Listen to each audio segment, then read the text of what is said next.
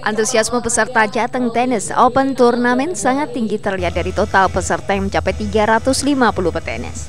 Jateng Tennis Open Turnamen dimulai sejak 25 April hingga final 4 Mei 2024 di Stadion Jatidiri, Kota Semarang, Jawa Tengah. Tenis ini merupakan salah satu dari 14 cabang olahraga yang dipertandingkan dalam Sport Tourism Event atau SPEKTA. Selain untuk menjaring bibit muda potensial, Spekta juga bertujuan untuk mengolahragakan masyarakat dan memasyarakatkan olahraga. Tanya itu, Spekta juga bertujuan untuk menggerakkan perekonomian masyarakat karena banyak event yang digelar maka akan berdampak pada UMKM. Nantinya para atlet berprestasi asal Jawa Tengah akan terus dibina dan dikembangkan sehingga raihan medali tim PON Jateng terus naik. PON kali ini pihaknya menargetkan bisa naik ke posisi 3 atau 4 nasional dari peringkat 6 pada PON sebelumnya. Bahwa olahraga di Jawa Tengah ini di samping kita untuk memperoleh apa eh, badan yang sehat, kami harapkan akan tumbuh atlet-atlet berprestasi yang suatu saat kita gunakan untuk pertandingan-pertandingan antar provinsi atau yang sifatnya nasional kita sudah siap. Itu harapannya.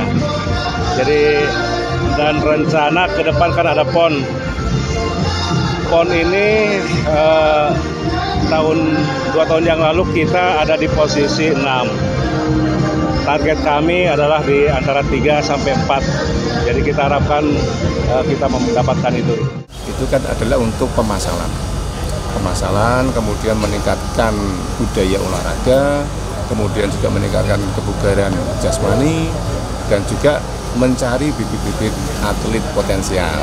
Kemudian juga sebagai ajang tryout bagi atlet-atlet uh, daerah yang akan mengikuti ajang PON. Pada pertandingan eksebisi penutupan final Jateng Tennis Open Turnamen ini, PJ Gubernur Jawa Tengah Nana Sujana berpasangan dengan Rektor Unimus, Profesor Marsuki melawan artis Ben Kasyafani berpasangan dengan Wakil Rektor 3 UNES Profesor Ngabianto. Sementara GG Elisa bersama Nurin Nabila melakukan pertandingan eksebisi melawan PJ Bupati Pati, Henggar Budi Anggoro dan Putri Dinda Nurmayanda. Rahayu Febrianto, Kompas TV, Semarang, Jawa Tengah.